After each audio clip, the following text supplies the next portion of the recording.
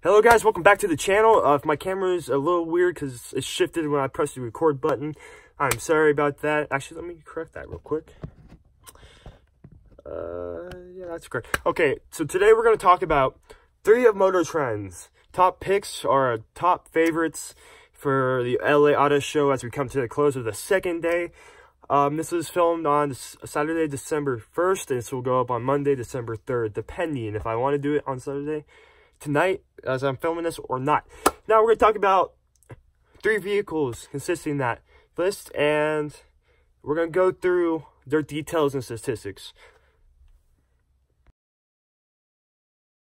All right, so starting off this list for number one, this will be the 2020 Rivian RS or no R1T and R1S. Um, the R1T is, if I'm not mistaken, the truck and R1S is if not, and again, if I'm not mistaken, the um the SUV. Now, as I pull this list up, I have um as the list consists of obviously the um 2020 Jeep Gladiator is going to be top on that list. This is second. Um, the second vehicle I, I will talk about is the um 2020 Lincoln Aviator, and third is the 2020 Honda Passport. All right, let's get started with this. Um, now this is pretty cool. This is a competitor to the Tesla. Obviously, as you can tell, it is an electric truck. Um, it does look pretty cool. I'm not too on board with it, but it may be good. This is, these are just concept designs, but half light, those headlights and stuff will not make it to production as road laws will consist not of. Um, if I keep doing this, I am sorry. That's just me hyping myself up to make this video. Because, same with last video, I'm sorry I clapped for last podcast or mini cast video. I have, um, I was trying to get it done. I was I was tired. I was working, waking myself up. So if that's if, I, if you hear that, that is why. Now, there's this one quote. It says someone is okay. So it's um these people are skeptical of new vehicle startups. So is a lot of automotive um enthusiasts, automotive journalists. They're not too sure how well this vehicle is gonna be. Um, if I'm loud, I'm sorry. But this is car is pretty cool. It's all electric truck slash SUV and it is pretty cool. Now, I'm curious to see what Tesla's response is to this truck. Now, um, it's like, they're saying, in quote, and what a big stick the Rivian R, R1S and R1T are.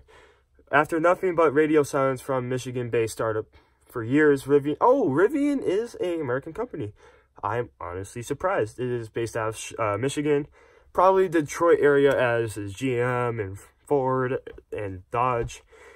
Um, but um, we're gonna go down to now. They're they're predicting this is gonna be like a DeLorean, which the, which flopped horribly. That was a crappy car. I wouldn't say it's gonna. I mean, I think they're gonna say it's gonna sell in the market as like a DeLorean. Um, they're also saying, um, Tucker um, Fisker, those two failed as well.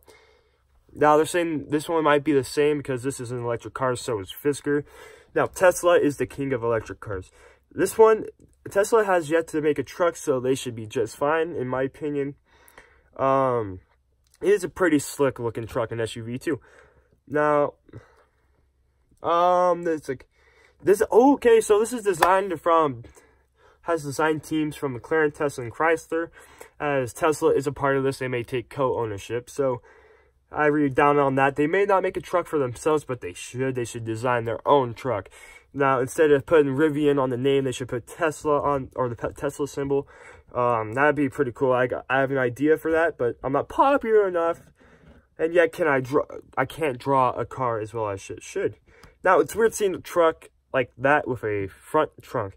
I, I'm not too on board with that. There should be, it should be more of a hybrid, not a full electric vehicle, because we know electric vehicles, um, yeah, Tesla's putting their hypercharge or supercharged stations, um, whatever you want to call them, out there, but there's not enough. So say you're traveling through mid-Nevada, where that's the state I live in, mid-Nevada. Um, now, mid-Nevada, there's not much there. There's just some off the side gas stations, a set like you got Fernley, Hawthorne, Tonopah, all that stuff. But what if you're going down from northern Nevada all the way down to Vegas? Now, now, uh, that's going to be an issue in line on an electric car part. If you live in this area, it's probably not the best idea to have an electric car if you're going to go on long road trips, especially if you do not live in a big state like California. Um, let's move on. Now, this is the 2020 Lincoln Aviator. Again, you guys can look these up. I'll put the link to this in the description. Um, this is the first, um, I would say, oh yeah, I forgot Cadillac was also ahead of the, um, it's Cadillac and Lincoln are the head of the luxury vehicles in America. Um, now, this is, um, they're saying, now Lincoln is expanding with their, an attractive vehicle. Finally, um, that appears unmistakably related to the Navigator without a doubt. Now, this is without a doubt because this car is, looks kind of like a, um, I would say, uh, I would say Land Rover and a Lincoln at the same time. I'm not going to say that, but I could be wrong, but I'm I'm not too sure. But the back end kind of looks like a um, um, Land Rover or Range Rover, whatever you want to call them. Now, um, okay, so this sure is kind of this looks like a Porsche similar dashboard, but it's not. Um, same as the center console. They say it's a provenance of Bentley. Now, provenance is, I'm guessing, is related to, or um, looks like, or a counterpart, like an actual part from. Uh, I wouldn't say that, but, um, but this is their um, first new SUV, first new name brand car in a long time. Navigator, I believe, was the last one. Now, um, Navigator came out roughly mid 90s, early 2000s. Um, but the Lincoln Continental's been around since the 60s, and now this is their response to the luxury SUV game, as Lincoln is technically Ford, as we all know. Now, that's about it for that. Um, since I gotta cut this video a little short, I gotta um, let my sister in soon. Um, but actually, let's talk about four. I think I might go over the 992 last. I might cut this clip here in a second so I can go let my sister into the house because, well, she's at her friend's house. Now, let's talk about the um, the Honda Passport, if I can find it. Um, okay, yeah, here it is. Now, this is a, um, an, I'm guessing another new SUV Honda has made, as long as, as well as Lincoln has. Um, this is a two-row seating SUV. It's a mid-size SUV, um, mid to large size SUV. It's not like the Honda Pilot, which is bigger. This is like the mid-size SUV or small. Small or mid-size. Uh, it's right in between there. Now, it is a beautiful looking car as Honda has been doing for the past couple years. Um, but it, on the other hand, it is an all-wheel drive. It has substantial lift off the ground, which is going to be good. So, it, so you can take it off-road or journey with it, as the name consists of, as passport, which means you can go different places. Um, it allows you to go different places. That's what a passport really is. um, actually, yeah, let's talk about, now that's all there is. There's not much to that. Let's talk about the ugly, in my opinion, the ugliest Toyota they have ever made. TJ Cruiser concept. Now, this is a um, predecessor to the FJ Cruiser um, that they have released in 2013, if I'm not mistaken. 2013 is the last year they're making that because of the blind spots and it's super um, impractical because of the blind spots. You could not drive it; it would be too hard. now, this is presumably, um, and this is so ugly. Um, it's supposed to be off-road vehicle, but it's not. It's a TJ Cruiser. That's an almost looks almost all electric. Now, they're what they're doing with this is this looks stupid. Um, but I'm gonna go let my sister in. I'm gonna put a photo up here and I cut the clip here.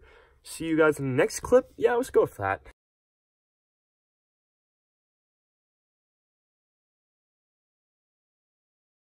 Okay, so this truck was last year revealed at the Tokyo show, auto show, I'm going to presume. Now, it appears this truck, as you can see in those photos I put in as I let my sister in the house, um, it looks like a actual Japanese car. It does not look like a Toyota anymore, um, as you guys can tell. Now, there's not much to this. It's, it says, Toyota can do, it shows, Toyota can do, I'm going to say this in quote, Toyota can do clean, crisp, cool design. whoever thinks that's cool is weird. Honest to God, I think they're weird if they think that's cool, but that's them, okay? That's my opinion. They have theirs. Um, I think this looks dumb, okay? All right, so let's move on to, um, yeah. My sister's make, making weird noises in the background. Um, yeah. Okay, now, this is also one of the cars that was revealed at the LA Auto Show. Um, now, this is um, this is a fact that this has been traveling around LA area, Nürburgring, all that stuff for a long time because the testing had to be perfect, the aerodynamics had to be perfect.